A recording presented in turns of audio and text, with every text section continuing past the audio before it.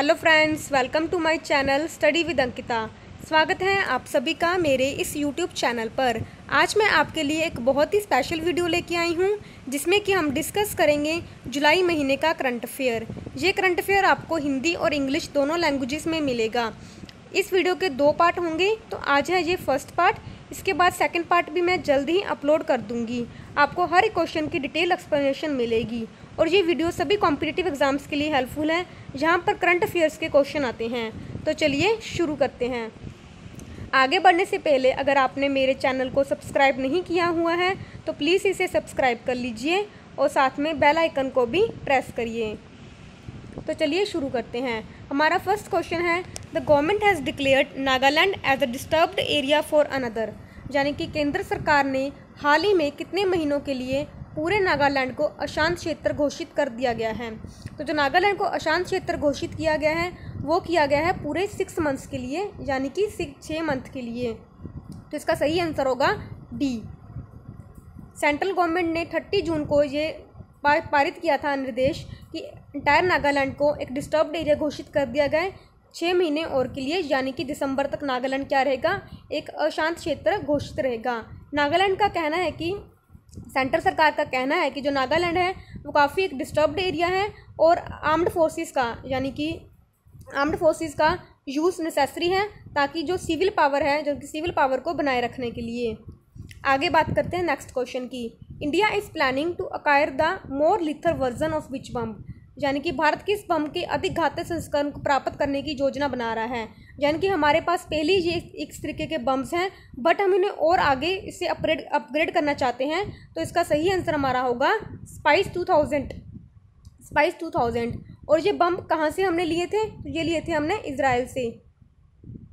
ठीक है? इसराइल ये भी पेपर में पूछा जा सकता है कि जो स्पाइस टू थाउज़ेंड बम्स हैं, वो हमने किस देश से लिए हैं? तो इसका सही आंसर होगा इसराइल से। नेक्स्ट बात करते हैं। Which among the following South Asian nation has placed its bid for the 2027 Asian Cup यानी कि जो एशियन कप होगा 2027 में उसमें से कौन से एशियन नेशन ने अपने बिड बिड मतलब कि उसने क्या किया, एक बोली लगाई है कि वो अपने देश में इस कप को आयोजन करना चाहता है। तो इसका सही आंसर होगा हमारा इंडिया यानी कि हमारा Bharat India is the right answer A one आगे बात करते हैं which nation's prime minister has launch a mega billion ten year defence plan यानी कि किस राष्ट्र के प्रधानमंत्री ने एक मेगा बिलियन दस वर्षीय रक्षा योजना शुरू की है? तो इसका सही आंसर होगा, ये की है ऑस्ट्रेलिया ने। और ये ऑस्ट्रेलिया ने क्यों की है? क्योंकि चाइना को काउंटर करने के लिए। क्योंकि ऑस्ट्रेलिया ने शुरू से अपने जो डिफेंस बजट है, उस पर कम खर्च किया था। बट अब जैसे जैसे लग रहा है कि चाइना काफ़ी अग्रेसिव हो रहा है तो ऑस्ट्रेलिया भी चाह रहा है कि उसका डिफेंस बजट है, वो भी बढ़े चाइना को काउंटर करने के लिए। तो इसका सही आंसर होगा ऑस्ट्रेलिया। ऑस्ट्रेलिया के जो प्राइम मिनिस्टर हैं स्कॉट मॉरिसन, उन्होंने लॉन्च किया 270 बिलियन ऑस्ट्रेलियन डॉलर, जो कि 10 साल में वो खर्च करेंगे। जुलाई एक को ये किया गया था। Under the massive defence plan, Australia will invest in land, sea and air based long range and hypersonic strike missiles. यानी कि इसमें क्या किया जाएगा? दस महीने के अंदर अंदर ये पैसा सॉरी दस साल के अंदर अंदर ये पैसा खर्च किया जाएगा और इसमें जो ऑस्ट्रेलिया है, अपने भूमि, समुद्र और वायु आधारित लंबी दूरी हाइपरसोनिक स्ट्राइक मसालों में निवेश करेगा। और ये क्यों कर रहा है? चाइना को काउंटर करने के लिए। आगे बात करते हैं।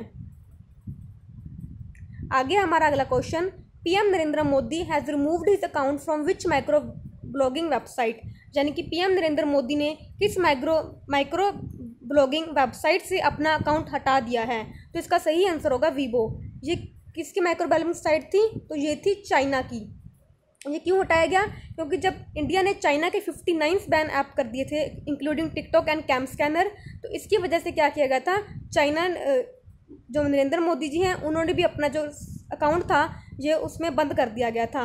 और उन्होंने जो अकाउंट कब खोला था? जब वो चाइना की यात्रा पे गए थे, तब उन्होंने चाइना के लोगों से कनेक्ट करने के लिए ये अपना अकाउंट उस पर साइट पे खोला था। अब उन्होंने क्या कर दिया? है इसे बंद कर दिया गया है।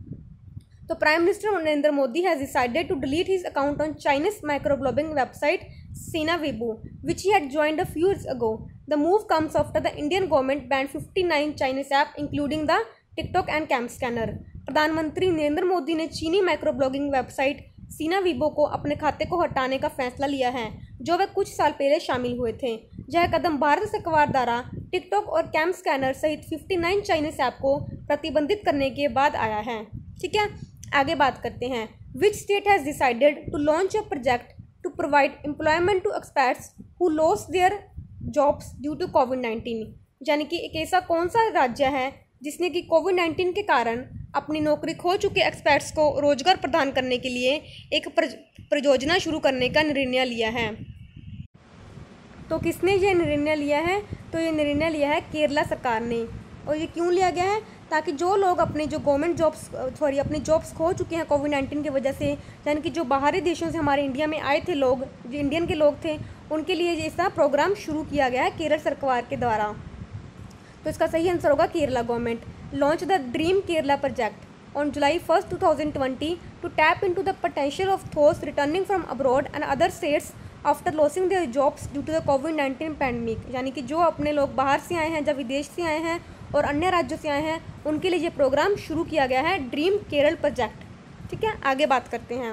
World Bank has approved how much loan for reservation of the Ganga river under the Namami Gange programme विश्व बैंक ने नमामि गंगे बैंक कार्यक्रम के तहत गंगा नदी के कायाकल्प के लिए कितना ऋण स्वीकृत किया है? तो इसका सही सही आंसर होगा 400 मिलियन अमेरिकी डॉलर यानी कि यूएसडी 400 मिलियन डॉलर्स ठीक है? ये जो वर्ल्ड बैंक ने अप्रूव किया है गंगा रिवर के लिए, ताकि गंगा रिवर को और बेहतर बना सके, गंगा रिवर के जो प्रोग्राम चल रहा है, नमामि गंगे प्रोग्राम उसके अंडर ये लोन पारित किया गया है 400 मिलियन यूएसडी डॉलर का. तो the board of executive directors of the World Bank group has approved a loan worth USD 400 million for the reservation of the Ganga river under the Namami Gange programme of the government of India the loan amount is aimed to assist in strengthening the river basin ठीक है ना? जान की क्यों किया गया है? तो जान की जो हमारी गंगा नदी है, उसके बेसिन को मज़बूत करने के लिए ये शुरू किया गया है। 400 मिलियन अमेरिकी डॉलर के ऋण को मंजूरी दी गई है। और जो वर्ल्ड बैंक है, उसका हेडक्वार्टर कहाँ पे? वॉशिंगटन डीसी में है। और इसके जो हेड हेड हैं, वो कौन? प्रेसिडेंट हैं, यानी कि वो है डेविड मॉलपास नेक्स्ट बात करते हैं। Which nation held a referendum to get public opinion on its new constitutional amendment यानी कि किस देश ने अपने नए संवैधानिक संशोधनों पर जनता की राय प्राप्त करने के लिए जनमत संग्रह किया? तो ये किया गया था रशिया के द्वारा। और पहले देखिए, आप समझिए कि रेफरेंडम क्या होता है। रेफरेंडम मतलब कि देखिए, आपने पढ़ा होगा कि देखिए, दो तरीके की डेमोक्रेसी होती है। एक होती है डायरेक्ट डेमोक्रेसी एक होती है इनडायरेक्ट डेमोक्रेसी अब देखिए डायरेक्ट डेमोक्रेसी में पहले पहले समझिए डेमोक्रेसी क्या होती है। डेमोक्रेसी में हम क्या करते हैं? अपने ही कुछ प्रतिनिधि चुन के भेज देते हैं ताकि वो सरकार को चला सकें और जो फैसले हैं अपने देश के लिए वो कर सकें। तो डायरेक्ट डेमोक्रेसी में क्या होगा? जो लोग हमने चुन के भेजे हैं, अगर उन्हें किसी भी देश में, किसी भी देश के मुद्दे पर फैसला लेना होगा तो वो क्या कराएँगे एक जनमत संग्रह कराएँगे। देखिए, पहले तो हमने उन्हें वोटिंग की, उन्हें वोट करके इलेक्शन इलेक्शंस में जिताया और उन्हें अपना प्रतिनिधि चुना। फिर इसके बाद क्या होगा? जब भी उन्हें कोई फैसला लेना होगा, वो क्या करेंगे? हमसे फिर से वोट करा करवाएँगे। ताकि आप देखिए कि आपको जो फैसला सही लगता है या नहीं लगता, जो मेजोरिटी होगी वो फैसला लागू हो जाएगा। अब सुनने में तो ये अच्छा लगता है कि जो हमारे जो प्रतिनिधि हैं वो हमसे हर बार फैसला पूछ के करें। बट ऐसा पॉसिबल नहीं है ना प्रैक्टिकल टर्म्स में। क्यों? क्योंकि इसमें बहुत ज़्यादा टाइम खर्च होगा। मनी भी खर्च होगी बार बार रिफ्रेंडम कराने में। तो जो हमारे जो प्रचलित है सबसे इंपॉर्टेंट डेमोक्रेसी वो है इंटरेक्ट डेमोक्रेसी यानी कि हमने एक बार चुन के भेज दिए हैं इलेक्शन जो अपने इलेक्शन से अपने प्रतिनिधि चुन के भेज दिए हैं। फिर इसके बाद क्या होगा कि जो लोग हमने चुन के भेजे हैं वो अपने मत से अपना डिसीज़न लेंगे। बट अभी रशिया ने क्या कराया है? एक रेफरेंडम कराया है। क्यों कराया है? ताकि जो ज, जनता की राय जान सकें कि वो अपने जो उनका कॉन्स्टिट्यूशन है उसमें क्या कुछ अमेंडमेंट्स करना चाहते हैं। ठीक है ना? यानी कि उसमें कुछ क्या करना चाहते हैं? संशोधन करना चाहते हैं अपने संविधान में। और ये संशोधन किस प्रकार के हैं, यानी कि क्या संशोधन इसमें किए गए हैं? तो ये किए गए हैं जो व्लादिमिर पुतिन हैं। ठीक है ना? आपको अगली साइड में पलाती हूँ। जो व्लादिमिर पुतिन हैं, यानी कि जो रशिया के, ठीक है ना? उन्होंने क्या, किया क्या किया है कि वो चाहते हैं कि जो जो व्लादिमिर पुतिन है, जो उनकी एक्सपायरी डेट है, यानी कि मतलब उनके जो कार्यकाल का एक्सपायरी है, वो हो रही है दो हज़ार चौबीस में। और वो चाहते क्या है कि वो अगले बारह साल तक, यानी कि उन पे जो कार्यकाल होता है, वहाँ पे छः साल का होता है, यानी कि छः छः छः साल का कार्यकाल होता है मैक्सिमम दो बार तक वो रह सकते हैं। तो उन्होंने कुछ ऐसे अमेंडमेंट्स करवाए हैं कॉन्स्टिट्यूशन में अपने, कि वो दो हज़ार छत्तीस तक भी कहाँ पे रह सकें? पावर में रह सके। यानी कि चौबीस में अगर बारह जोड़ देंगे तो दो तक वो पावर में रह सकेंगे। और जो व्लादिमिर पुतिन है जो 1998 से प्राइम मिनिस्टर, या फिर कभी कभी तो जो प्रेसिडेंट बन जाते हैं, अभी तो प्रेसिडेंट हैं, कभी जो प्राइम मिनिस्टर की पोस्ट पे आ जाते हैं। क्योंकि पहले जो रशिया का कानून था, वो कुछ ऐसा था कि हर जो प्रेसिडेंट था, उसकी जो टेनवर था, वो था चार साल। और एक आदमी लगातार सिर्फ़ दो बार ही प्रेसिडेंट बन सकता था वहाँ का तो वो फिर प्राइम मिनिस्टर बन गए। इसके बाद फिर से वो वापस सत्ता में प्राइम मिनिस्टर प्रेसिडेंट के रूप में आ गए और फिर उन्होंने कॉन्स्टिट्यूशन अमेंडमेंट करके इसे छः साल बदल दिया। यानी कि दो हज़ार चौबीस तक वो क्या है, दो हज़ार अठारह में उनका कार्यकाल शुरू हुआ था नया और 2024 तक ये कार्यकाल खत्म होगा। इसके बाद वो चाहते हैं कि सत्ता में रहें तो उन्होंने ऐसा कॉन्स्टिट्यूशन अमेंडमेंट कर दिया है कि वो 2036 तक भी मतलब प्राइम मिनिस्टर प्रेसिडेंट रह सकते हैं। ठीक है ना? तो ये किया गया है कि ताकि वो पावर में रह सकें और इसे जो जनता है, वहाँ की रशियंस हैं, उन्होंने इस कॉन्स्टिट्यूशन अमेंडमेंट को अप्रूव भी कर दिया गया है। ठीक है? तो ये अलग ही तरह की राजनीति हो रही है रशिया में। आगे बात करते हैं the M S M E ministry यानी कि micro small and medium enterprise ministry has launch which portal for M S M E M S M E registration यानी कि एम एस एम ई मंत्रालय ने पंजीकरण के लिए कौन सा पोर्टल लॉन्च किया गया है? तो इसका सही आंसर होगा उद्यम। यानी कि उद्यम नाम का एक पोर्टल लॉन्च किया गया है हमारी M S M E ministry के द्वारा। कमेंट सेक्शन में बताइए जो M S M E ministry है, उसके जो मिनिस्टर हैं वो कौन है अभी? तो ये मिनिस्ट्री है जो M S M E ministry है उसने लॉन्च किया है पोर्टल उद्यम। ये क्यों किया गया है? ये हेल्प करेगा ताकि जो कोई भी अगर नया व्यवसाय शुरू करना चाहता है तो उन्हें गाइड करेगा ठीक है ना? और उन्हें क्या करना चाहिए और उन्हें क्या नहीं करना चाहिए ताकि एक ईजी वे में वो अपना पंजीकरण करा सकें। तो ये शुरू किया गया है एमएसएमई मंत्रालय द्वारा उद्यम। ठीक है? आगे बात करते हैं। आगे which nation's Federal Communications Commission has designated two Chinese company as national security threat यानी किस राष्ट्र के संघीय संचार आयोग ने दो चीनी कंपनियों को राष्ट्रीय सुरक्षा क्षेत्रों के रूप में नामित किया है? तो ये किया गया है अमेरिका के द्वारा। ठीक है? अब इसका मतलब क्या है कि दो ऐसी कंपनियाँ चाइना की। जो यूएसए के हिसाब से क्या है, उनके जो देश में क्या है, एक नेशनल थ्रेट है, यानी कि वो डाटा चोरी वगैरह कर रही हैं तो ऐसी कंपनी को क्या कर दिया है, उन्होंने डेजिग्नेट कर दिया है कि वो नेशनल सिक्योरिटी थ्रेट हैं। वो कौन कौन सी दो कंपनी है? एक तो है उनकी हवाई ठीक है ना, जो कि यूके में बैन है, जो कि फाइव जी टेक्नोलॉजी बेच रही है। और आपको एक बात बता दूँ, जो फाइव जी इस हवाई कंपनी के जो डॉटर है, वो यूके में जेल में जेल में बंद है, यानी कि जो इंग्लैंड है, वहाँ पे, वहाँ की जेल में बंद है। उन पर भी यही चार्जेस हैं कि वो क्या कर रहे हैं स्पाइंग कर रहे हैं अपने जो फाइव जी टेक्नोलॉजी बेच के, ठीक है ना? और एक तो यूके चाहता भी यही है कि एक ऐसा ग्रुप बन जाए जिसमें कि जो चाइना है, वो जो फाइव जी टेक्नोलॉजी से उसे बाहर किया जा सके। और दूसरी जो कंपनी है वो है जेड टी ई कॉरपोरेशन ठीक है ना? जेड टी ई कॉरपोरेशन ठीक है ना? और जो चाइनीज़ कम्युनिस्ट पार्टी है, उन्होंने कहा है कि जो जो दोनों कंपनियाँ हैं, दोनों के जो लिंक हैं वो किससे लिंक लिंक करते हैं? चाइनाज कम्युनिस्ट पार्टी के। कम्युनिस्ट पार्टी के। आपको एक बात और बता दूँ, जो यूएसए हैं, जो चाइना का प्रेसिडेंट है शी जिनपिंग अब यूएसए उन्हें प्रेसिडेंट ना बुला के उन्हें बुला रहे हैं कि कम्युनिस्ट पार्टी का ये लीडर है यानी ये कम्युनिस्ट पार्टी का एक तरह का लीडर है हेड है, ना कि उन्हें प्रेसिडेंट बना रहे हैं, बता रहे हैं चाइना का। तो ये भी एक अलग सा मूव है यूएसए के द्वारा। और आपको पता ही होगा कि यूएसए और चाइना के बीच कितनी ठानाठानी चल रही है। पहले तो यूएसए ने क्या किया, जो चाइना की कौंसलेट थी हॉस्टन में हाउस्टन में, ठीक है ना? यानी जो उनका टैक्सेस एक राज्य है, वहाँ पे हॉस्टल में कौंसलेट थी, वो बंद करा दी।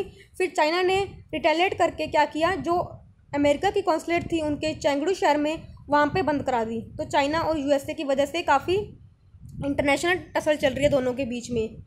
आगे बात करते हैं which ministry has prepared a blueprint for a new scheme to enable cashless treatment of motor accident victims यानी कि किस मंत्रालय ने मोटर दुर्घटना पीड़ितों के कैशलेस उपचार को सक्षम करने के लिए एक नई योजना का खाका तैयार किया है? तो ये तो आप समझ ही सकते हैं क्वेश्चन पढ़ के ही कि कौन सी मिनिस्ट्री तैयार करेगी ये खाका? तो ये करेगी ट्रांसपोर्ट मिनिस्ट्री ऑब्वियसली बात है तो इसका सही आंसर होगा ट्रांसपोर्ट मिनिस्ट्री और इसके हेड कौन है? नितिन गडकरी साहब जी इसके हेड हैं।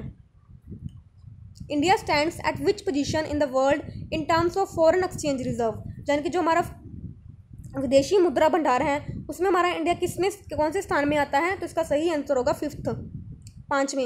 इसे बोलते हैं हम फॉरेक्स फॉरेक्स रिज़र्व यानी कि फॉरेन एक्सचेंज रिज़र्व ठीक है ना? तो हमारा जो इंडिया का फॉरेन एक्सचेंज रिज़र्व है, वो कहाँ पे? हमारा 500 बिलियन डॉलर तक को भी पार कर चुका है आईएमएफ के अकॉर्डिंग और जो हम पीछे किसके हैं? तो फ़र्स्ट नंबर पे चाइना, दूसरे पे जापान, फिर तीसरे पे स्विट्ज़रलैंड एंड फोर्थ पे रशिया एंड फिफ्थ में हम इंडिया वाले हैं, ठीक है ना? और फॉरन एक्सचेंज रिज़र्व पे मैंने एक स्पेशली डेडिकेटेड वीडियो बना रखी है कि उसमें मैंने बताया है कि फॉरन एक्सर्व फॉरन एक्सचेंज रिज़र्व क्या होता है और इसे रखने के क्या फ़ायदे होते हैं। तो आप वो वीडियो भी देख सकते हैं। नेक्स्ट बात करते हैं। India is planning to procure twenty one MiG nine twenty nine fighter jets from which nation under its latest defence deal यानी कि भारत अपने नवीनतम रक्षा सौदे के तहत किस देश से इक्की मिग उनतीस लड़ाकू जेट खरीदने की योजना बना रहा है? तो जो मिग इक्कीस हैं सॉरी जो इक्कीस मिग है, मिग ट्वेंटी नाइन, आपको पता होगा कौन से देश के हैं? यह है रशिया के। तो हम किससे खरीद रहे हैं? रशिया से खरीद रहे हैं। ये मिग ट्वेंटी नाइन खरीद रहे हैं। ठीक है ना union defence ministry on July 2020 approve approvement the procurement of thirty three front line fighter fighter jets missile systems and other military hardware worth rupees thirty eight thousand nine hundred crore to boost the combat capability of the Indian armed forces under the new defence deal इसमें क्या हम कुछ खरीदेंगे? एक तो इक्कीस MiG खरीदेंगे और ठीक है ना? और साथ में हम खरीदेंगे बारह एस यू थर्टी एम का aircraft will be brought from state run H E L H E L क्या? है हमारी जो हिंदुस्तान एरोनोटिक्स लिमिटेड है, उससे हम जो बारह एस यू माइक खरीदेंगे। आगे बात करते हैं। Which state has launch Balram scheme to provide credit to seven lakh landless farmers यानी कि किस राज्य ने सात लाख भूमिहीन किसानों को ऋण देने के लिए बलराम योजना शुरू की है? तो जो योजना शुरू की गई है उड़ीसा के द्वारा। उड़ीसा के द्वारा ये योजना शुरू की गई है। इस योजना में क्या होगा कि जो सात लाख लैंडलेस फार्मर हैं, जन की जिनके पास भूमिहीन किसान हैं, उन्हें क्या दिया जाएगा? उन्हें क्रेडिट दिया जाएगा, यानी कि उन्हें ऋण दिया जाएगा। तो ये योजना शुरू की गई है उड़ीसा के द्वारा। ठीक है? India capital has about how much equity stake in Reliance Jio यानी कि जो इंटेल कैपिटल है, उसने रिलायंस जियो में कितने इक्विटी हिस्सेदारी खरीदी है? तो जो खरीदी गई है इंटेल कैपिटल के द्वारा zero point three nine percent ठीक है ना? आपको पता ही होगा कि जो रिलायंस जियो है अभी लॉकडाउन में सबसे ज़्यादा अगर तरक्की किसने की है तो वो रिलायंस जियो ने की है। अगर हम आज पढ़ पा रहे हैं, मैं आपको इस प्लेटफॉर्म में पढ़ा रही हूँ, और आप इस प्लेटफॉर्म में पढ़ पा रहे हैं तो ये किसकी वजह से है? सिर्फ़ रिलायंस जियो की वजह से है। क्योंकि आपने भी और मैंने भी एक ऐसा ज़माना देखा है, जब आपको एक जी नेट के लिए कितना देना पड़ता था? ढाई सौ रुपया देना पड़ता था। ठीक है ना? तो ये किया गया है रिलायंस जियो के द्वारा। और रिलायंस जियो के अभी हाल ही में फेसबुक ने भी काफ़ी अच्छे शेयर पर उसके परचेज़ किए थे। काफ़ी मतलब कंपनियों ने रिलायंस जियो पे इन्वेस्ट पैसा इन्वेस्ट किया है। ठीक है ना? आगे बात करते हैं कि Reliance Industries Limited and Jio platform announced on July three date Intel Capital which is an investment arm of global tech and semiconductor major Intel Corporation as invested eighteen ninety four crore in Jio platform to buy zero point three nine percent equity stakes ठीक है? आगे बात करते हैं। India was rank at which position on the global real estate transparency index यानी कि जो ग्रेटी है global real estate transparency index इसमें जो भारत की रैंक है, वो कितनी आई है? तो भारत की रैंक आई है इसमें। थर्टी फोर्थ रैंक आई है भारत की हमारे। ठीक है? थर्टी फोर और ये रिलीज़ किया जाता है जो किया जाता है। India was rank at thirty fourth position globally in Jones Lang LaSalle biennial global real estate transparency index क्योंकि हमने क्यों इसमें इतना किया है? कि जो हमारी रियल इस्टेट इंडस्ट्री है, उसमें क्या है? काफ़ी इंप्रूवमेंट नज़र आ रही है। जो हमारा रियल इस्टेट का बिज़नेस है, ठीक है ना? उसमें काफ़ी इंप्रूवमेंट नज़र आई है। इसलिए हमें चौंतीसवें स्थान पर रखा गया है। आगे बात करते हैं। Which among the following apps has not been banned by the Indian army यानी कि निम्नलिखित में से कौन सा ऐप है जो कि भारत सेना के द्वारा प्रतिबंधित नहीं किया गया है? ठीक है ना? तो इंडियन आर्मी जैसे कि हमने जो fifty nine Chinese app ban कर दिए गए थे, ठीक है ना? तो इसी इंडियन आर्मी ने कुछ ऐप्स बैन किए गए हैं। और ये ऐप बैन क्यों किए गए हैं? इसका चाइना से कोई कनेक्शन नहीं है। बल्कि इसका रीज़न दे दिया गया है क्योंकि जो जो सोशल मीडिया है, उनके ज़रिए क्या हो रहा है, जो इंडियन आर्मी की सीक्रेट इन्फॉर्मेशन है, वो कहीं ना कहीं से लीक हो रही है। तो जो इंडियन आर्मी के पर्सनल्स हैं, उन्हें कहा गया कि आपको इनमें से कोई भी ऐप अपने, जो अपने फ़ोन पे आपको इनमें ऐप ऐप में नहीं रखनी है। तो इसका सही आंसर हमारा होगा कि जो इंडियन आर्मी ने, उन्होंने 89 मोबाइल एप्लीकेशन बैन कर दिए गए हैं। फेसबुक इंस्टाग्राम जो पबजी आप खेलते हैं जूम एप्लीकेशन है वीडियो कॉन्फ्रेंसिंग के लिए PopXo TikTok Snapchat SHAREit and dating app तक टिंडर जो टिंडर बम्बल ऐप होते हैं, ये सारे बैन कर दिए गए हैं और जो बैन नहीं किया गया वो है ट्विटर यानी कि ट्विटर इसमें बैन नहीं किया गया है तो इसका सही आंसर हमारा होगा डी वन ट्विटर ताकि हमारी जो सूचना है, यानी कि भारतीय सेना के सूत्रों के अनुसार सूचना के रिसाव को रोकने के लिए यह निर्णय लिया गया है।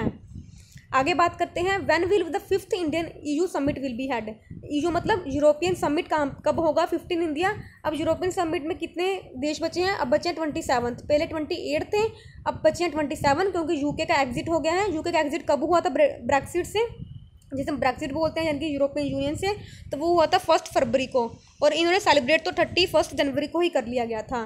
तो ये ईयू समिट था, वो कब हो कब हो चुका है? यानी कि अब हो चुका है तो कब हुआ था ये? देखो हुआ था फिफ्टीन जुलाई को ये यू यूजो समिट हुआ था, इसमें हमारे प्राइम मिनिस्टर नरेंद्र मोदी जी ने भी भाग लिया था। विच स्टेट लॉन्च वीवर्स समान योजना यानी कि किस बुनकर समाज योजना के लिए किस राज्य ने शुरू की है? तो इसका सही आंसर होगा कर्नाटका जो, कर्नाटका ने ये योजना शुरू की गई है, ताकि जो उनके बुनकर हैं, यानी कि जो हैंडलूम्स का काम करते हैं, उन्हें कुछ मदद प्रोवाइड की जा सके। रुपीज़ टू थाउज़ेंड एनुअली उन्हें क्या किए जाएँगे? प्रोवाइड किए जाएँगे जो वीवर्स होते हैं। ठीक है ना? तो देखिए, Karnataka chief minister B S Yediyurappa launch the weavers Sammaan Yojana on July six two thousand twenty इस स्कीम में क्या होगा कि गवर्नमेंट क्या करेगी? एनुअल फाइनेंशियल हेल्प प्रोवाइड करेगी, दो हज़ार रुपये की। कितने को करेगी? उन्नीस हज़ार सेवन फोर्टी फोर को। हैंडलूम जो वर्क वीवर्स होते हैं डायरेक्ट बेनिफिट ट्रांसफ़र डीबीटी का मतलब क्या होता है? कि उनके खातों में सीधा ये राशि पहुँच जाएगी। ठीक है?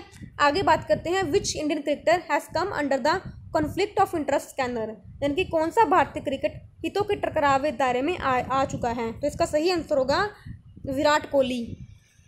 हितों का टकराव का मतलब कॉन्फ्लिक्ट ऑफ़ इंटरेस्ट का मतलब होता है कि एक ऐसा पर्सन यानी कि जो कोहली हैं वो क्या कि दो कंपनियों में उनकी इन्वॉल्वमेंट पाई गई है बल्कि जो बीसीसीआई के रूल्स होते हैं वो ऐसा आप ऐसा नहीं कर सकते। आप मतलब एक पोजीशन में रह के आप दूसरी पोजीशन को होल्ड नहीं कर सकते।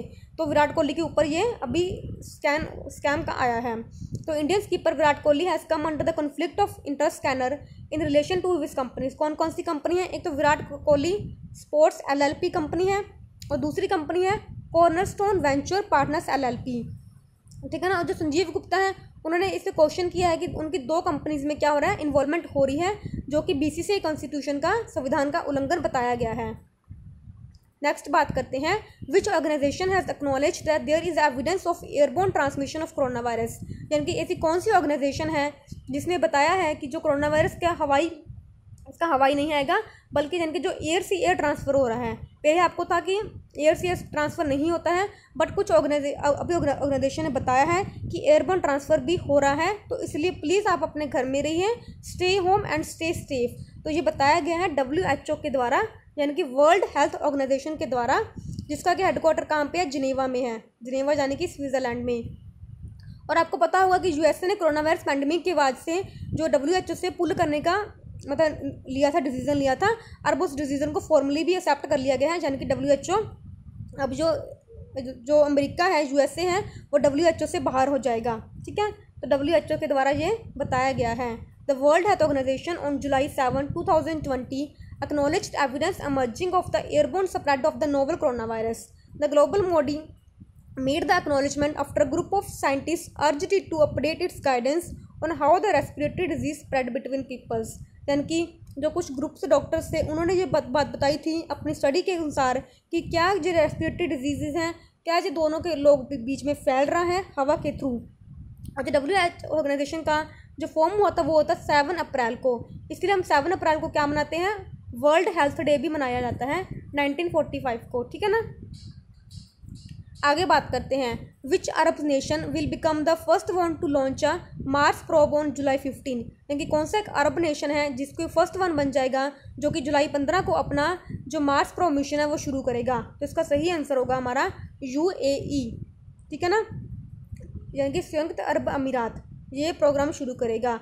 और इस जो मार्स मंगल ग्रह पे जो भेजने का प्रोग्राम है, इसका नाम क्या है? होप मिशन ठीक है होप मिशन।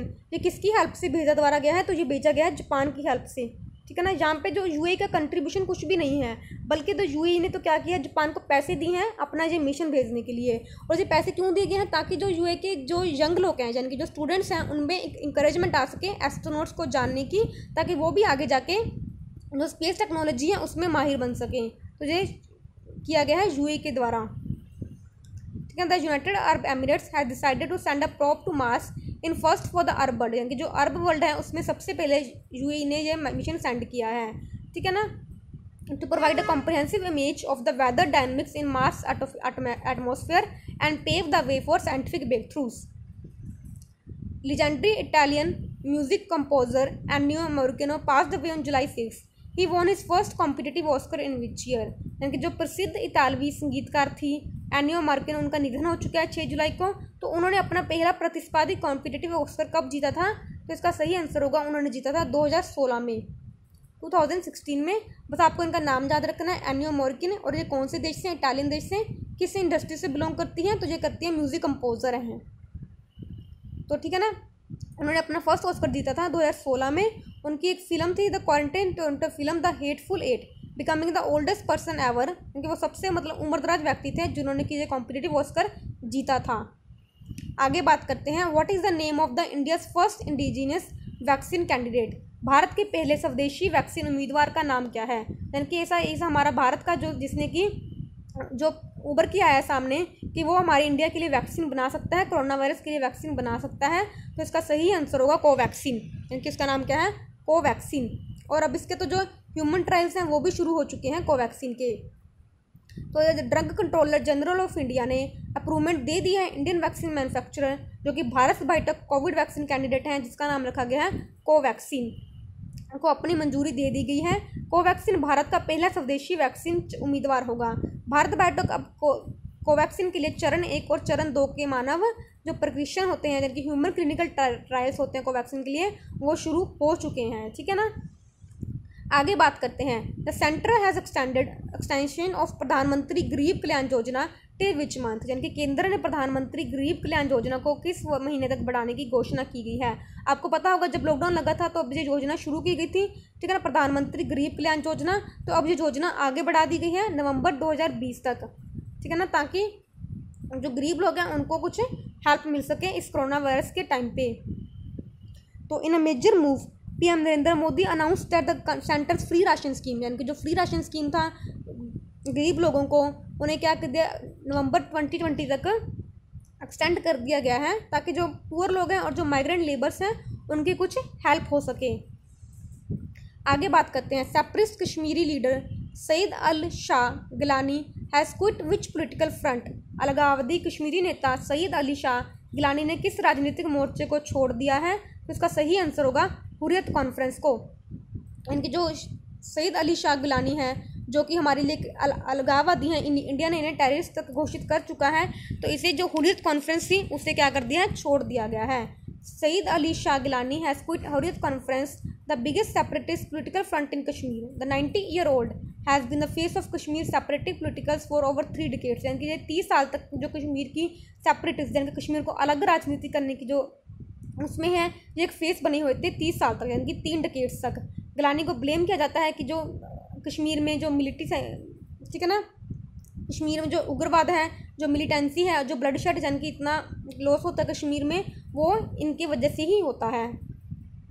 आगे बात करते हैं Iran has issued an arrest warrant for which among the following leaders यानी कि ईरान ने क्या कर दिया है निम्नलिखित विश्व नेताओं के बीच गिरफ्तारी वारंट जारी किया है।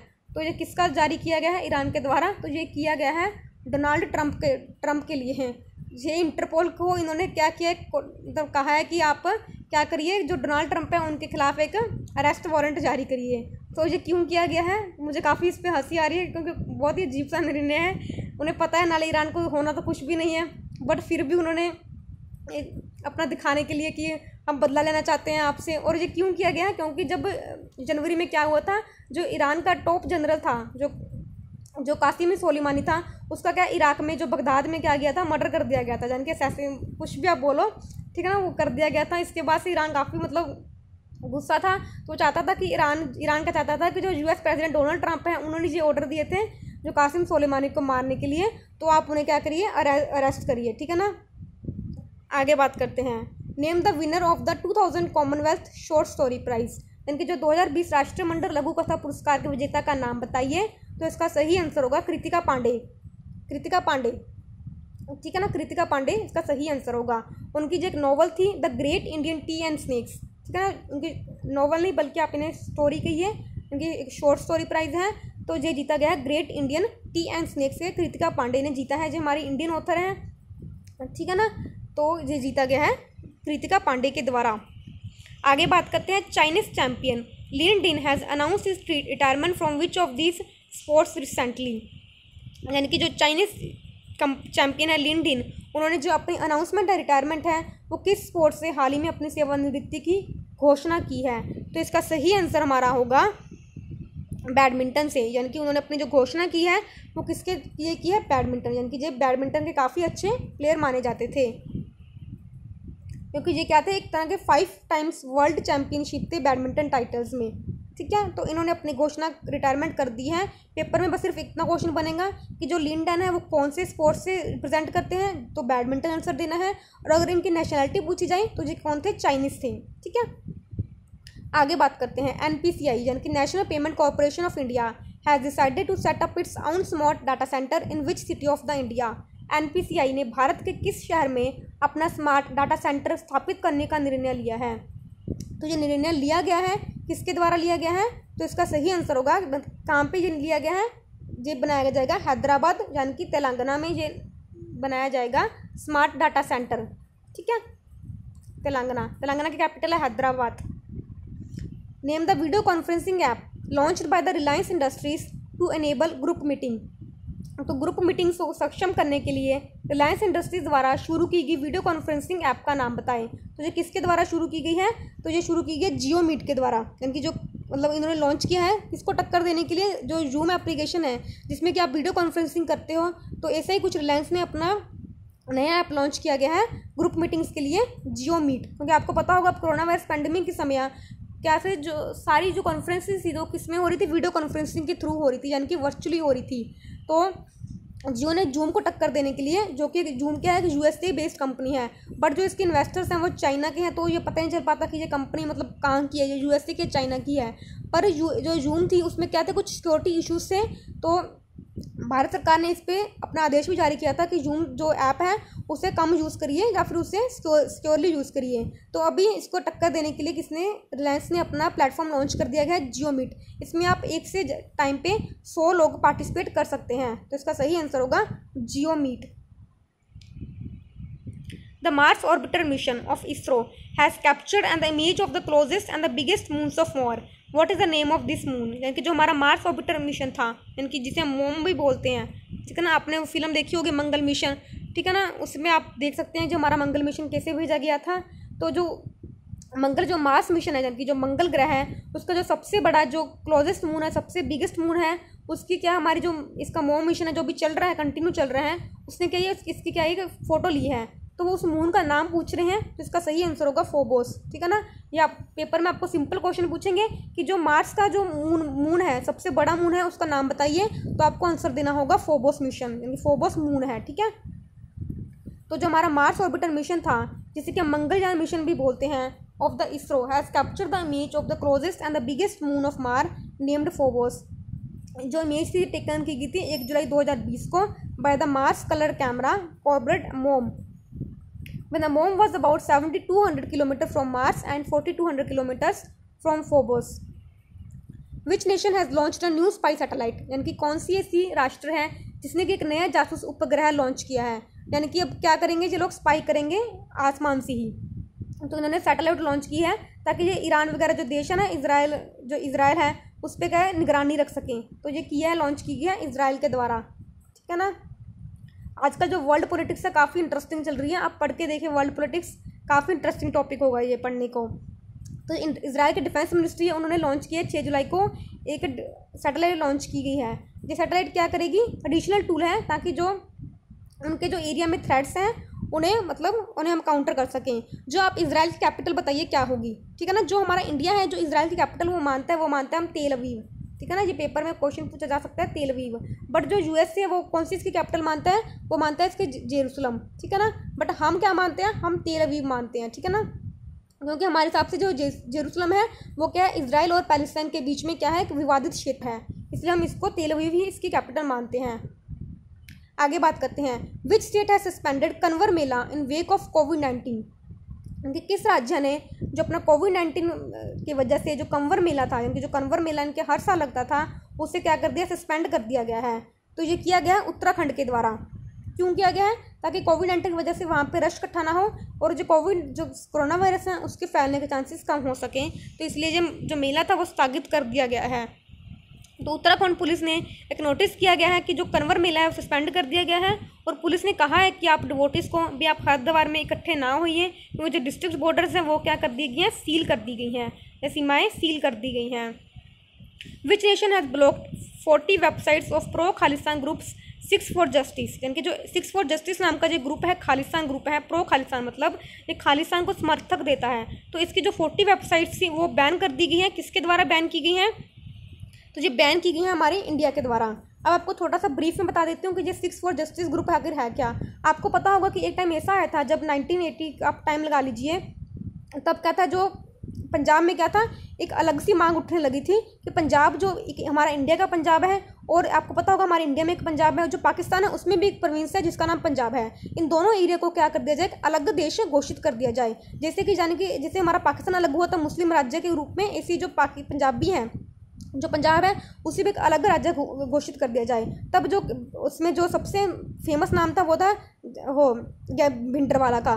फिर जब 1984 में आपको पता होगा कि जो भिंडर वाला था, वहाँ कहाँ चला गया था? जो हमारा अमृतसर है गोल्डन टेंपल है, वहाँ पे इसने हथियार वगैरह इकट्ठे करने शुरू कर दिए गए थे। ठीक है? फिर जो, इंदिरा गांधी जी थी, उस टाइम पे प्रधानमंत्री थी, उन्होंने क्या किया था? भी उस पर जाके उसमें गोल्डन टेंपल में आर्मी भेज दी गई थी और ऑपरेशन ब्लू स्टार चलाया गया था, जिसमें कि जो भिंडर वाला था, उसे मार गिराया गया था। और इस जो इंसिडेंट हुआ था इसमें, जो गोल्डन टेंपल को भी काफ़ी क्षति पहुँची थी।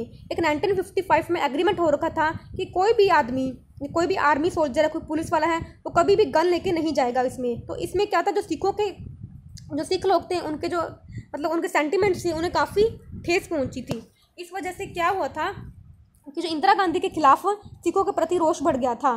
फिर इसके बाद इकतीस अक्टूबर को क्या हुआ था? जो इंदिरा गांधी थी, उनके जो दो मतलब बॉडी गार्ड्स थे, उन्होंने जो सिख बॉडी गार्ड्स थे, उन्होंने क्या कर दिया था? इंदिरा गांधी को शूट कर दिया था, यानी कि इंदिरा गांधी का असैसिनेशन कर दिया गया था। इसके बाद क्या हुआ? जो पंजाब में सिखों के प्रति दंगे काफ़ी भड़के और काफ़ी लोगों को मतलब उसमें लोग लोग मारे गए। और जो हमारे इंडिया का बहुत ही काला इतिहास है। इसके बाद से जो थी, जो मांग थी, जो पंजाब को मतलब एक अलग देश बनाने की वो कम होती चली गई। बट जो हमारे कुछ देश ऐसे हैं, जैसे कनाडा है, वो यूएसए यूके उसमें क्या चल रही है? एक एक ग्रुप बना हुआ है फिक्स फॉर जस्टिस यानी कि वो लोग चाहते हैं कि जो पंजाब का जो राज्य है, इंडिया में और पाकिस्तान में एक अलग देश बन जाए। और कुछ हमें ऐसे सबूत भी मिले हैं कि जो पाकिस्तान का आई एस आई है, वो भी इस इस मूव को सपोर्ट करता है ताकि इंडिया को हम अलग कर सकें। तो उन्होंने एक, अभी मांग आई थी कि जो कनाडा है, वहाँ पे क्या किया गया था, एक रेफरेंडम कराया जाएगा। यानी कि देखिए, उनका मतलब क्या है? उनका जो सिख है, वो सिख के लिए नहीं, बल्कि जो पंजाब में रहते हैं, यानी कि जो पंजाबी हैं, जो पंजाब में रहते हैं, वो पंजाबी होंगे तो वो सभी जो लोग हैं, पंजाब के लोग हैं, उनके लिए अलग देश बनाया जाए। तो वहाँ पे जो हमारे जब पंजाब से बाहर लोग रहते हैं तो उन, उनके बीच क्या क्या कराया जाएगा? एक ऑनलाइन रेफरेंडम कराया जाएगा। पहले तो जो रेफरेंडम कराना था आपको फिजिकली कराना था, फिर कोविड नाइन्टीन की वजह से क्या हुआ? अब इसको जो ऑनलाइन करवाया गया था वेबसाइट्स के ज़रिए, ठीक है ना? और जो वेबसाइट कहाँ पे ऑपरेट कर रही थी? ये रशिया में ऑपरेट कर रही थी। ये भी एक सबसे बड़ा अजीब सा कारण था इसका। फिर इसके बाद क्या हुआ कि जो कनाडा सरकार थी, उसने जो जस्टिन ट्रूडो थे, उन्होंने बयान दिया था कि जो रेफरेंडम ये करवा रहे हैं, ये हमारे लिए कोई मायने नहीं रखता, यानी कि इसमें हमारी कोई भी इंपॉर्टेंस नहीं है तो हम इसको नहीं मानते हैं। ठीक है ना? तो इसकी वजह जो हमारे पंजाब के कैप्टन है, जो पंजाब के सीएम है कैप्टन अमरिंदर सिंह, उन्होंने भी जो जस्टिन ट्रूडो की काफ़ी मतलब इस बात का स्वागत किया था। तो जो इंडिया ने हमारे जो इनकी वेबसाइट थी, चालीस वेबसाइट्स थी सिक्स फॉर जस्टिस नाम की, ये बंद कर दी थी, इस वजह से ब्लॉक कर दी गई थी। ठीक है ना? तो आशा करती हूँ आपको ये समझ आ गया, छोटा सा मुद्दा मैंने आपको ब्रीफ में बता दिया गया है। तो इंडियन गवर्नमेंट ने पाँच जुलाई को ये ब्लॉक कर दिया है फोर्टी वेबसाइट्स थी प्रो प्रो खालिस्तान ग्रुप्स की सिक्स फॉर जस्टिस नाम की, जो कि अटैम्प्ट करी थी, यानी अपना जो वोटर्स को रजिस्टर करने की मांग करी थी, ताकि इसकी जो डिमांड है, जो सेपरेट खालिस्तान बनाने की मांग है, उससे, उसको बनाने के लिए। तो होम मिनिस्ट्री ने इस वेबसाइट्स को क्या कर दिया है? ब्लॉक कर दिया गया है, अवरुद्ध कर दिया गया है। आगे बात करते हैं which state has become the first one with LPG connections in all the households यानी कि ऐसा कौन सा घर है? सभी घरों में एलपीजी कनेक्शन बनाने वाला पहला राज्य कौन सा बन गया है? तो इसका सही अंतर होगा हिमाचल प्रदेश। यानी कि हिमाचल प्रदेश ऐसा स्टेट बन चुका है, जहाँ पे क्या है एलपीजी सिलेंडर सबके घरों में पहुँच चुके हैं। यानी कि हंड्रेड परसेंट क्या हो गया एल का वितरण हो चुका है। ठीक है? तो हिमाचल प्रदेश चीफ मिनिस्टर जयराम ठाकुर ने अनाउंस किया गया था जुलाई सिक्स को कि जो हिमाचल प्रदेश है वो फ़र्स्ट स्टेट बन चुका है, जहाँ पे जो एलपीजी कनेक्शन है सब में आ चुके हैं। एक बात आपको और बता दूँ, जो आप, मैं आपको अभी जो सीएम वगैरह के नाम बोल रही हूँ, आप प्लीज़ इसे भी याद रखिएगा। आगे बात करते हैं which state's cabinet has approved a draft ordinance seeking 75 percent reservation for the local youth in private organisations उनके किस राज्य के मंत्रिमंडल ने निजी संगठनों के, स्थानीय युवाओं के लिए पचहत्तर प्रतिशत आरक्षण के लिए एक मसौदा अध्योद्य को मंजूरी दी है?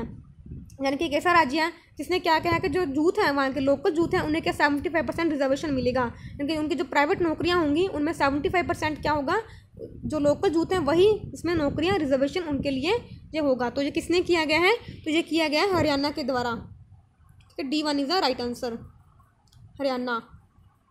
तो हरियाणा कैबिनेट ने सिक्स जुलाई को एक प्रपोजल मंजूर किया है, जिसमें कि सेवेंटी फाइव परसेंट जॉब्स दी जाएँगी, जो स्टेट के यूथ हैं, उनको दी जाएँगी ये नौकरियाँ।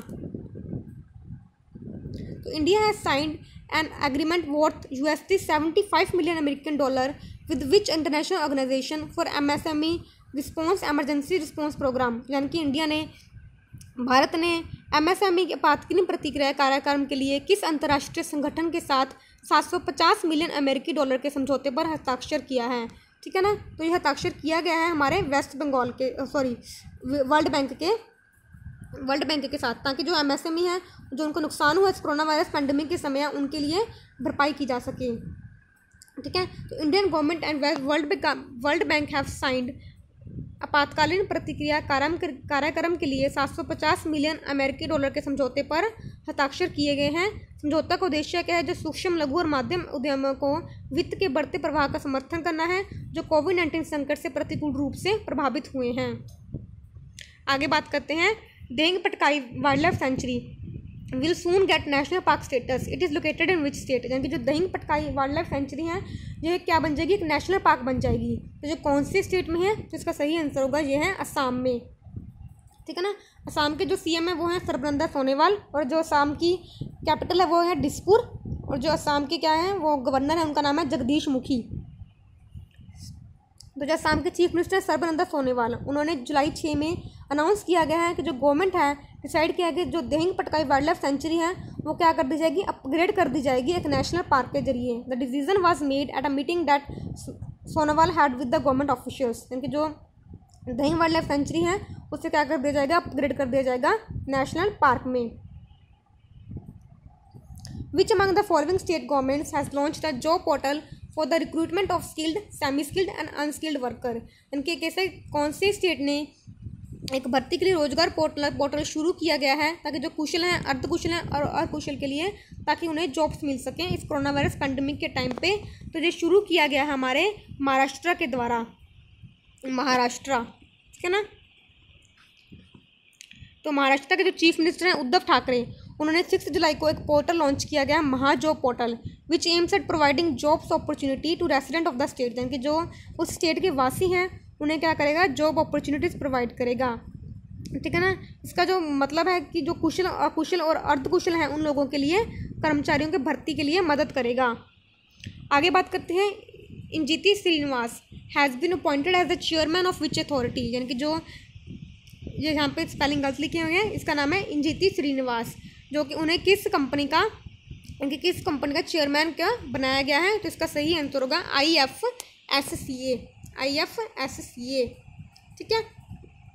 इनके Injeti Srinivas has been appointed as the chairman of the international financial service centre authority इनका इसके अपॉइंटमेंट किया गया है by the appointment committee of the cabinet I F S C का इन्हें चेयरमैन बनाया गया है international financial service centre authority आगे बात करते हैं Myanmar and Sri Lanka have eliminated which disease ahead of two thousand twenty three target यानी जो म्यांमार और श्रीलंका है, जिनका टारगेट दिया गया था हज़ार तेईस तक वो डिज़ीज़ ख़त्म कर लेंगे और उन्होंने अपना ये टारगेट पहले अचीव कर लिया गया है। तो कौन से डिज़ीज़ के खिलाफ ये टारगेट अचीव किया गया है? तो ये किया गया है जो खसरा होता है और रुबेला के प्रति ये किया गया है।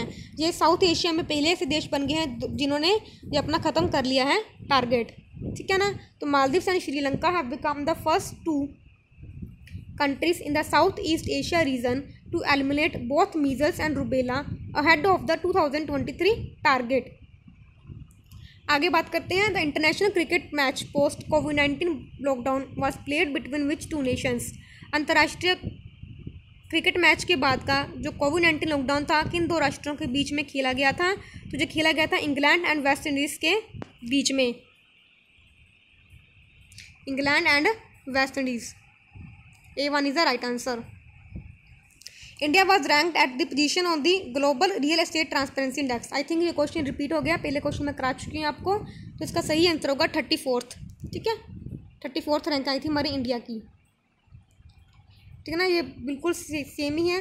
ठीक है? तो आपको ये मैंने करा दिया क्वेश्चन तो आगे बात करते हैं। Gujarat has extended the time frame of Gujarat solar power policy 2015 till which month यानी कि जो गुजरात ने अपनी जो गुजरात सोलर पावर पॉलिसी थी 2015 की, उसे कहाँ तक एक्सटेंड कर दिया गया है? तो ये एक्सटेंड कर दिया गया है इकतीस दिसंबर तक thirty first December.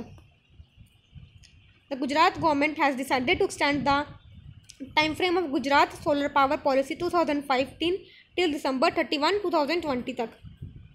Which nation has planned to build up 5 to 8 nuclear reactors per year between 2020 to 2025 यानी कि कैसे राष्ट्र ने 2020-2025 के बीच प्रतिवर्ष पाँच से आठ परमाणु रिएक्टर बनाने की योजना बनाई है तो ये बनाई गई है चाइना के द्वारा। ठीक है ना? चाइना।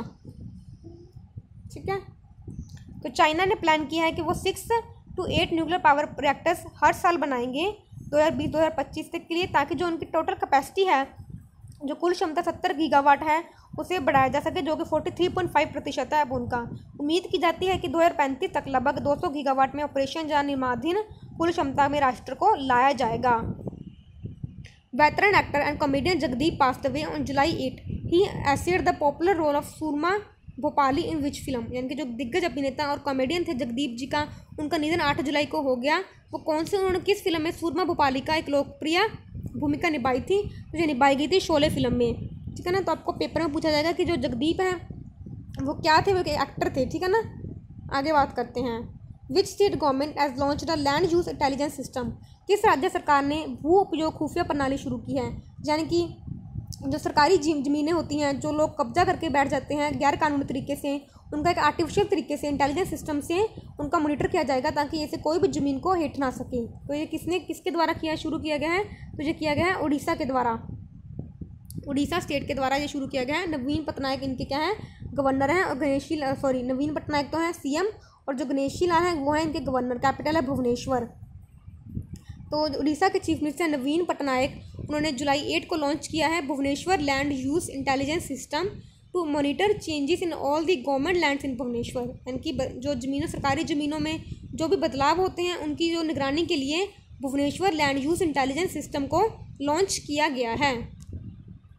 आगे बात करते हैं। Which Indian news channel is the only one that has not been taken off air by Nepal cable TV operators यानी कि एक ऐसा भारतीय केबल टीवी ऑपरेटर का नाम बताइए, समाचार चैनल का, जिसे कि अभी बंद नहीं किया गया नेपाल में। तो इसका नाम क्या है? दूरदर्शन। क्योंकि ये सरकारी मीडिया है ठीक है ना इसलिए इसे बंद नहीं किया गया, दूरदर्शन। और ये क्यों बंद किया गया? मतलब जो बाकी के चैनल्स हैं, क्यों बंद कर दिए गए? क्योंकि एक्चुअल में कंट्रोवर्सी क्या थी? आपको पता ही होगा कि जो नेपाल है, वो अभी चीन के इन्फ्लुएंस में आके इंडिया के काफ़ी मतलब इंडिया के जो मतलब बयान दे रहा है इंडिया के विरुद्ध बयान दे रहा है। तो इससे क्या था कि जो नेपाल के प्रेसिडेंट हैं, अभी prime minister K P Sharma Oli तो जो हमारी इंडियन मीडिया थी, वो क्या कर रही थी?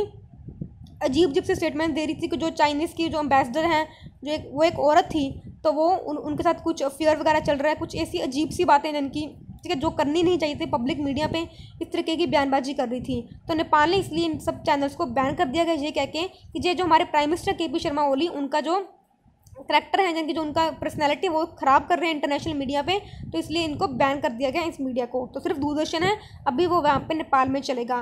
क्योंकि जो नेपाल की कंट्रोवर्सी शुरू कहाँ से हुई थी इंडिया और नेपाल के बीच कंट्रोवर्सी जो हमारा इंडिया का रीज़न है जिसे हम लिखू लिपू लेक बोलते हैं, वहाँ पे जो बी आर था उसने एक सड़क बनाई थी, ठीक है ना, यात्रा के लिए। तो जो नेपाल था, उसने इस पर प्रोटेस्ट किया था कि ये तो हमारे क्षेत्र में मतलब उन्होंने बना दी गई है। तो जो विवादित एरिया था, काला पानी एरिया लिपू लेक था, इस जो नेपाल ने फिर इसके बाद क्या किया, अपने एक नया मैप लॉन्च कर दिया, नया मैप मतलब बना दिया, और इसमें नए मैप में जो हमारे इंडिया के क्षेत्र थे, उसे अपने मैप में दिखा दिया गया। और अब अभी न्यूज़ आई थी, मैंने पढ़ी थी रिसेंटली जो नेपाल है, वो क्या करना चाह रहे हैं, जो अपने जो मैप है, जो न्यू मैप रिलीज़ किया गया है, वो यूएन को भेजेगा, यानी कि यूनाइटेड नेशन को नेशन को भेजेगा गूगल मैप को भेजेगा, और इंटरनेशनल कम्युनिटी को भेजेगा, ताकि जो वो दिखा सके इंटरनेशनल कम्युनिटी को, ये मुद्दे को उछाल सके इंटरनेशनली कि जो हमारा इंडिया और नेपाल के बीच में भी कोई एक विवादित स्थल है, ठीक है ना? ये इसलिए नेपाल ये कर रहा है, ये किसके इन्फ्लुएंस में कर रहा है? चाइना के इन्फ्लुएंस में कर रहा है, ठीक है ना? आगे बात करते हैं which aerospace company deliver the final five of twenty two Apache attack helicopters to I F recently यानी ऐसी कौन सी कंपनी है जिसने कि हमारे आई एफ़ यानी कि इंडियन एयरफोर्स को बाईस अपाची हेलीकॉप्टर दिए गए हैं? तो ये दिए गए हैं बोइंग कंपनी के द्वारा। बोइंग कंपनी ठीक है ना? तो जो यूएसए की जो एरोस्पेस इंडस्ट्री है मेजर बोइंग इंडस्ट्री है, उसने फाइनल फाइव जो फाइव थे हमारे, जो बाईस अपाचे हेलीकॉप्टर से उसमें डिलीवर कर दिया गया इंडियन एयरफोर्स को। ठीक है ना Indian China border stand off के कारण ये हमें काफ़ी हमने एमरजेंसी में मंगवाए हैं। The fleet is now part of the assets deployed in key airbase along the line of actual control इनकी जो लाइन ऑफ़ एक्चुअल कंट्रोल के कंट्रोल पे इनको तैनात किया जाएगा। How many bridges for in argued by the defense minister Rajnath Singh? The border areas close to line of control LOC J K Jammu and Kashmir जुलाई 2020 यानी कि राजनाथ सिंह जो हमारे डिफेंस मिनिस्टर हैं, उन्होंने कितने पुल मतलब जो बॉर्डर्स हैं, जो बॉर्डर एरिया पे लाइन ऑफ़ कंट्रोल पे बॉर्डर एरिया पे कितने ब्रिजेस को मतलब उनका उद्घाटन किया है तो इसका सही आंसर होगा छः ब्रिजेस का ऐसा उद्घाटन किया गया है हमारे राजनाथ सिंह जी के द्वारा, जो कि हमारे डिफेंस मिनिस्टर हैं, रक्षा मंत्री हैं। तो रक्षा मंत्री राजनाथ सिंह ने नई दिल्ली में वीडियो कॉन्फ्रेंसिंग के माध्यम से जम्मू और कश्मीर में अंतर्राष्ट्रीय सीमा और नियंत्रण रेखा, यानी कि जो एलओसी है, ये करीब सीमा क्षेत्रों में छः रणनीतिक पुलों का उद्घाटन किया। ये बॉर्डर और ऑर्गेनाइजेशन के द्वारा प्रोजेक्ट में बनाए गए हैं रिकॉर्ड समय में बनाए गए सबसे पहली बात तो आपको एक बात और बता दूँ, जो हमारे बॉर्डर बॉर्डर ऑर्गेनाइजेशन है, इसने जो लॉकडाउन के बावजूद भी अपना काम जारी रखा और बहुत से पुल इन्होंने इस लॉकडाउन के टाइम पे बनाए हैं। तो जो पुल के, जो खर्चा था वो था फोर्टी थ्री करोड़ रुपीज़ और जो पुल हैं छः पुल हैं तो तनाहा वन पुल तनाहा द्वितीय पुल और पलवन ब्रिज घोड़ी वाला ब्रिज और पहाड़ी वाला ब्रिज। और फिर क्या है, एक पनियाली ब्रिज है, ठीक है ना, जो कि हमारे बी के द्वारा बनाए गए हैं। Which state has launch pure for sure campaign to campaign to ensure the purity of the milk and dairy products यानी कि किस राज्य ने दूध और डायरी उत्पादों की शुद्धता के लिए, सुनिश्चित करने के लिए एक कैंपेन शुरू किया गया है, जिसका नाम है प्योर फॉर श्योर तो ये कैंपेन शुरू किया गया है राजस्थान के द्वारा, राजस्थान के द्वारा, ठीक है ना? आपको पता ही होगा राजस्थान में भी क्या चल रही है? सरकारी टसल चल रही है। ये भी अजीब सी है। राजस्थान के जो मंत्री हैं, सीएम है, वो कौन है? अशोक गहलोत। आपको इसी वीडियो में बता देती हूँ कि जो राजस्थान का भी क्या मतलब मसला चल रहा है। तो हुआ क्या था? जो सचिन पायलट थे, जो कि जिन्होंने की डिप्टी चीफ मिनिस्टर थे राजस्थान के, उन्होंने क्या अठारह मंत्री के साथ अपनी बगावत कर दी थी? और वो, उन्होंने मतलब वो अलग से होटल में रहने चले गए थे। फिर जो अशोक गहलोत थे, उन्होंने क्या किया था? अपने घर में एक विप जारी की विप विप क्या होता है? विप जाने की एक ऐसा ऑर्डर कि जो उनके, जो बाकी के मेंबर्स हैं जो बाकी के एम हैं, उन सबको वो ऑर्डर मांगना मतलब वो करना पड़ेगा, मानना पड़ेगा। तो जो अशोक गहलोत थे, वो सीएम के घर में मतलब नहीं आए, ठीक है ना? तो फिर जो स्पीकर थे, जो राजस्थान के उसमें उन्होंने क्या कर दिया? एक ऑर्डर जारी कर दिया तो जो अशोक गहलोत हैं, उनको सस्पेंड करने के लिए जारी कर दिया गया। तो ये मामला सुप्रीम कोर्ट में तक पहुँचा। तो फिर अशोक गहलोत ने एक मतलब टेक्निकली निकालते हुए ये बात कही कि जो विप जारी की गई थी, वो हमें क्या कहती है कि जो हमारा विधानसभा है, उसमें उपस्थित होने के लिए हमें कहती है, ना कि हम किसी सीएम के घर में जाके इकट्ठे हों। तो वहाँ पे हमें सीएम के तो बुलाया नहीं गया, हमें सीएम के घर बुलाया गया तो हम उस विप को मानने के लिए बाध्य नहीं है। इसके बाद फिर क्या हुआ कि जो भी विधानसभा का अभी कोई सेशन चल नहीं रहा कोरोना वायरस की वजह से तो जो गवर्नर है, वहाँ के कालराज मिश्रा जो अशोक गहलोत जी हैं, वो कालराज मिश्रा जी से मिलें ताकि जो गवर्नर हैं वो विधानसभा का बुला सकें। और जो आपको बात बता दूँ, जो जो विधानसभा को बुलाने का जो सत्र होता है, वो किसके पास होता है? गवर्नर के पास होता है। अब इसमें भी दो तीन आर्टिकल्स आते हैं। एक आर्टिकल तो बोलता है कि जो गवर्नर है, उसके पास क्या डिस्क्रिशनरी पावर है? यानी कि उसके पास खुद की क्षमता है कि वो बता सके कि कब को बुलाना है। और दूसरा कि जो कैबिनेट मिनिस्टर्स हैं, वो उनकी सलाह पे बुलाएगा। तो इसमें टेक्निलिटीज़ के बीच में हेरफेर है। तो जो गवर्नर थे कालज मिश्रा, उन्होंने बुलाने से मना कर दिया गया कि वो विधानसभा सत्र नहीं बुलाएँगे। तो जो अशोक गहलोत थे, वो विधानसभा सत्र बुलाना क्यों चाहते थे? वो चाहते थे कि जो फ्लोर टेस्ट है, वो हो जाए जल्दी से जल्दी। क्योंकि थे, क्योंकि जो कांग्रेस है, अभी उसके बाद इतनी सीटें थी। अगर अशोक, जो सचिन पायलट हैं, वो अगर बगावत भी करते हैं जान कि वो कांग्रेस के पक्ष में वोट नहीं भी देते हैं, तभी जो सरकार है, उनकी वो बनी रहेगी। बट जो बीजेपी है, वो उन, उनके पास अभी भी इतनी सीटें नहीं आई हैं कि वो सरकार के बनाने की पोजीशन में होती। इसलिए जो इस कांग्रेस की सरकार थी, वो इतनी ज़्यादा जल्दी कर रही थी। एक तरफ़ तो जो सचिन पायलट थे वो चले गए अपने जो मंत्री को हो, होटल में लेके और फाइव स्टार होटल्स में और एक तरफ़ जो अशोक गहलोत थे वो भी चले गए अपने मंत्रियों को लेके। जब कारज मिश्रा नहीं माने वो सत्र बुलाने के लिए तो जो अशोक गहलोत थे उन्होंने उनकी कार्यालय कार्यालय पे बाहर क्या धरना देना शुरू कर दिया कि वो बुलाया जाए। तो इस वजह से काफ़ी टेक्निकलिटीज इनके दोनों बीच में फंसी हुई पड़ी हैं। तो इसका सही आंसर होगा जो हमारा कैंपेन था प्योर फॉर श्योर ये शुरू किया गया था हमारे राजस्थान के द्वारा। तो अगला क्वेश्चन है prime minister Narendra Modi inaugurated the Asia's largest solar plant in which Indian state यानी प्रधानमंत्री नरेंद्र मोदी ने किस भारतीय राज्य में एशिया के सबसे बड़े सौर संयंत्र का उद्घाटन किया? तो ये किया गया है रेवा। रेवा में किया गया है, जो कि कहाँ पे मध्य प्रदेश में है। रेवा में मध्य प्रदेश में लार्जेस्ट सोलर पावर प्लांट है। हमारे एशिया में ही सबसे लार्जेस्ट सोलर पावर प्लांट है रेवा में। तो प्राइम मिनिस्टर नरेंद्र मोदी ने इनारोगेट किया है सेवन फिफ्टी मेगावाट का Rewa ultra mega solar power plant project in Madhya Pradesh. ये किया गया था वीडियो कॉन्फ्रेंसिंग के ज़रिए 10 जुलाई को। The ultra mega power solar project comprise three solar units इसमें तीन सोलर यूनिट्स हैं, ढाई सौ मेगावाट्स की, ठीक है ना? तो आपको याद रखना है कहाँ पे बनाया गया है ये? रेवा में बनाया गया है मध्य प्रदेश में। तो वर्ल्ड पॉपुलेशन डे था, ये किस दिन मनाया जाता है? तो ये मनाया जाता है ग्यारह जुलाई को, विश्व जनसंख्या दिवस ग्यारह जुलाई को मनाया जाता है। तो वर्ल्ड पॉपुलेशन डे था, ये हर साल मनाया जाता है ग्यारह जुलाई को। क्यों मनाया जाता है? ताकि जो ग्लोबल पॉपुलेशन है, यानी कि जो वैश्विक जनसंख्या मुद्दों के बारे में जागरूकता पैदा करने के लिए ये मनाया जाता है। ये मनाया जाता है गवर्निंग काउंसिल यूनाइटेड नेशंस के द्वारा। 1989 में बनाना शुरू किया गया था। ताकि जो 1987 में जो हमारी वर्ल्ड की पॉपुलेशन थी, वो कहाँ तक पहुँच गई थी? वो पहुँच गई थी पाँच बिलियन तक पॉपुलेशन पहुँच चुकी थी। और इस बार का जो थीम रखा गया वर्ल्ड पॉपुलेशन डे का, ये काफ़ी इंपॉर्टेंट है। पेपर में इससे क्वेश्चन बन सकता है। Safeguarding the health and the rights of womens and girl ठीक है ना? यहाँ पे अगर वुमेन एंड गर्ल आ जाए ना तो ये आप मान के चलिए पेपर में हमेशा पूछा जाता है। तो इसका थीम याद रखेगा please safeguarding the health and the rights of women and girls ठीक है ना?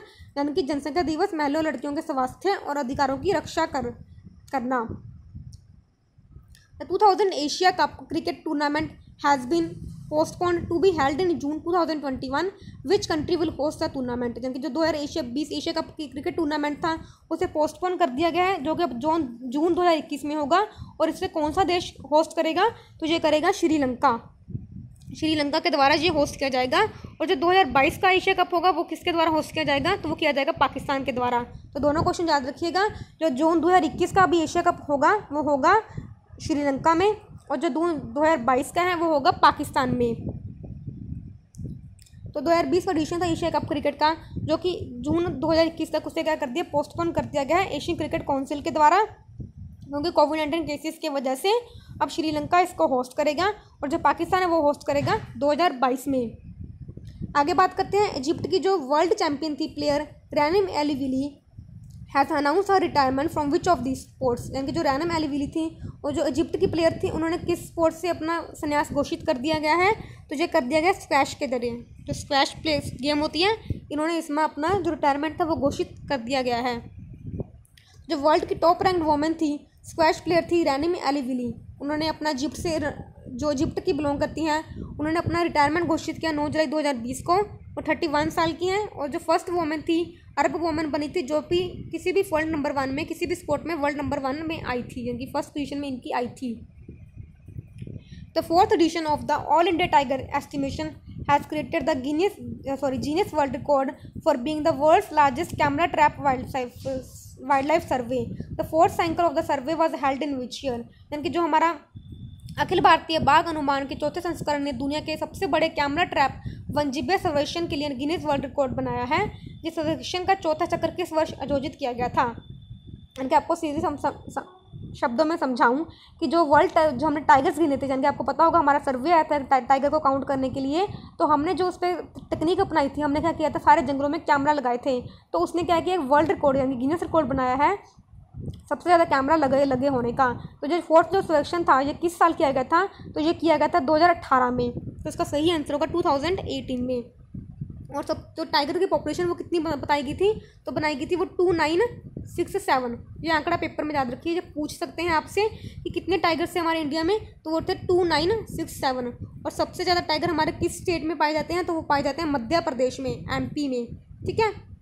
और जो अभी ग्लोबल टाइगर डे भी निकला है इंटरनेशनल टाइगर डे तो किस दिन मनाया जाता है? तो मनाया जाता है वो ट्वेंटी नाइन्थ ऑफ़ जुलाई को। ठीक है? ये तीनों बातें याद रखिएगा। आगे बात करते हैं। Who is the author of the biography his holiness the fourteen Dalai Lama an illustrated biography इनकी जीवनी। परम पावन चौदहवें दलाई लामा, एक सचित्र जीवनी के लेखक कौन है? तो ये किसके द्वारा लिखी गई है?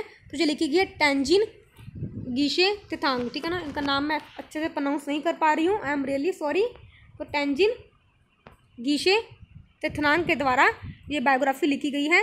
His holiness the fourteen Dalai Lama an illustrated biography तो जो नदाउन का पुलिस स्टेशन है, उसे रैंक किया गया सबसे best police station it is located in the which country sorry which in located which state of the country जो Nadaun police station है, उसे हमारे इंडिया का सबसे बेस्ट पुलिस स्टेशन रैंक किया गया है। तो ये कहाँ पे लोकेटेड है? तो ये लोकेटेड है मध्य प्रदेश में। एमपी में लोकेटेड है नदाउन पुलिस स्टेशन। ठीक है तो ये था हमारा आज का आखिरी क्वेश्चन। आशा करती हूँ आपको ये वीडियो अच्छी लगी होगी। अगर प्लीज़ इसे अच्छी लगे तो मेरे चैनल को सब्सक्राइब करें, इस वीडियो को ज़्यादा से ज़्यादा लाइक करें एंड शेयर करें। अगर आपको इसकी पीडीएफ चाहिए तो आप you can join me on Telegram channel, study with Ankita. और आपको मैं इसका सेकंड पार्ट भी आपके लिए जल्द अपलोड कर दूँगी। तो ठीक है, थैंक यू।